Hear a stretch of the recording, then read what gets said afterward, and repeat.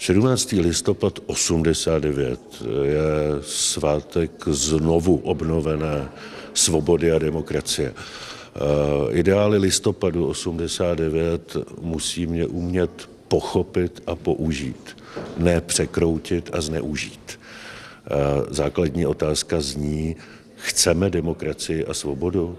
My říkáme ano, chceme a autokratickým tendencím neustoupíme ani opítím.